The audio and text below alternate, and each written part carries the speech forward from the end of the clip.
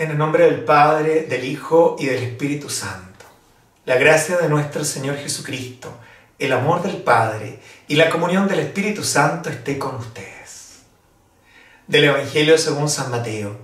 Jesús dijo a sus discípulos, les aseguro que un rico difícilmente entrará en el reino de los cielos. Se los repito, es más fácil que un camello entre por el ojo de una aguja que un rico entre en el reino de los cielos.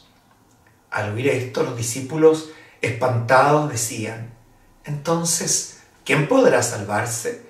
Jesús mirándolo fijamente dijo, para los hombres esto es imposible, pero para Dios todo es posible.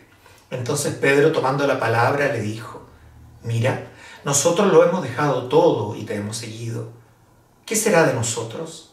Jesús le dijo, les aseguro que ustedes que me han seguido, en el mundo futuro cuando el Hijo del Hombre se siente en el trono de gloria, se sentarán también ustedes en doce tronos para juzgar a las dos tribus de Israel. Y todo aquel que haya dejado casas, hermanos, hermanas, padre, madre, hijos o campos en mi nombre, recibirá el ciento por uno y heredará la vida eterna. Pero muchos primeros serán últimos y muchos de los últimos serán los primeros el desprendimiento que nos viene predicando Jesús en el Evangelio diario, nos lleva hoy día a una pregunta legítima.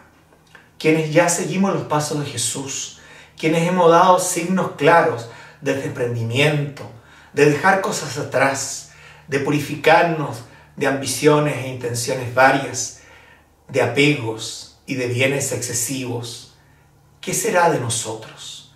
¿Qué pasará para aquellos que deciden por amor al reino de los cielos y por seguir más de cerca el testimonio de Jesús, abrazar la, la pobreza evangélica, la vida más sencilla y austera, tendrán sin duda una recompensa en el cielo.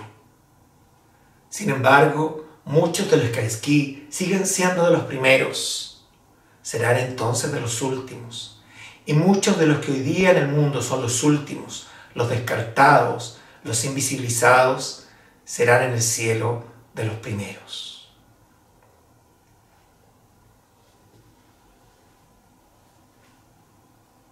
Creo, Jesús mío, que estás real y verdaderamente en el cielo y en el santísimo sacramento del altar. Te amo por sobre todas las cosas y deseo vivamente recibirte dentro de mi alma. Más no pudiéndolo hacer ahora sacramentalmente, ven espiritualmente a mi corazón.